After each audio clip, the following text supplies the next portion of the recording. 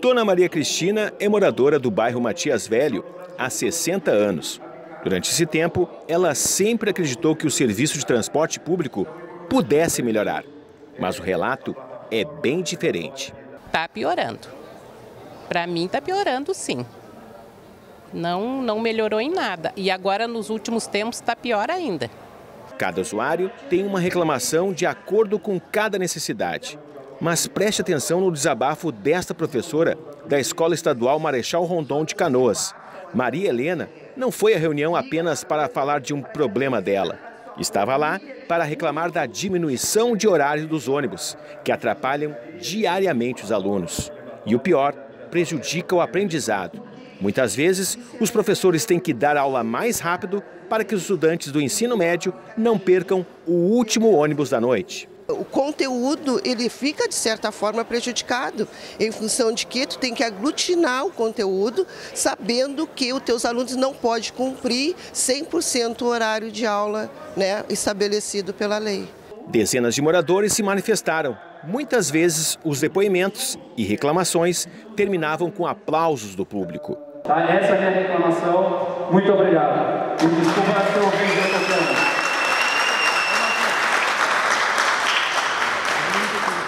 A audiência durou mais de duas horas. A reunião foi transmitida ao vivo pelas redes sociais. O número de curtidas e comentários despertou interesse até de quem não pôde ir pessoalmente. O representante da Vicasa informou que a empresa vai mudar a tabela de horários para, em breve, beneficiar a população.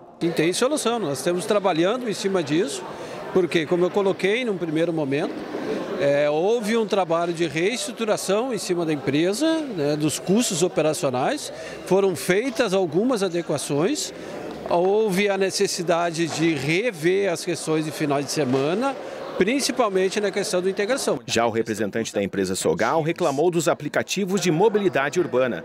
Para ele, existe uma concorrência desleal em Canoas. Com relação a Uber, com relação a aplicativos e entre outros, o problema está na regra, no regramento, na forma de um sistema concedido trabalhar e na forma de um outro sistema que não tem nenhum tipo de concessão municipal poder estar concorrendo de forma desleal e no meu ponto de vista, eu quero dizer no meu ponto de vista, porque é uma posição minha empresarial com relação a essa essa forma do município conduzir os aplicativos. Precisa ser legalizado, precisa ter regra e precisa ser uma competição justa. Com tantas reclamações, a Prefeitura de Canoas garante que a empresa Sogal vai prestar um bom serviço para os usuários, mesmo que o contrato com o município termine em outubro período que está prevista a nova licitação no transporte público. Nós temos focado no sentido de oferecer uma melhor qualidade e melhor conforto e maior segurança aos nossos usuários. E para isso,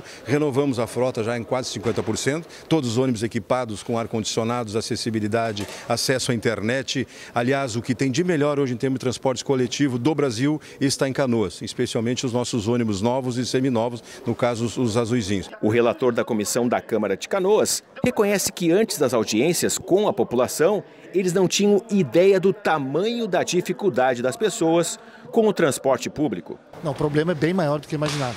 Com as audiências públicas, nós podemos identificar mais o fato de trazer a empresa também para enxergar por que, que os vereadores votaram só um ano da prorrogação, porque a empresa queria mais. É porque a comunidade não está gostando do serviço prestado pela empresa. Então nós, nós, o Poder Legislativo, colocamos a empresa para que a comunidade possa fazer os esclarecimentos devidos que precisa. Na programação inicial da Câmara de Vereadores de Canoas, esta era para ser a última audiência pública, mas devido ao grande número de reclamações, existe a possibilidade de novos encontros com a população ainda no mês de maio.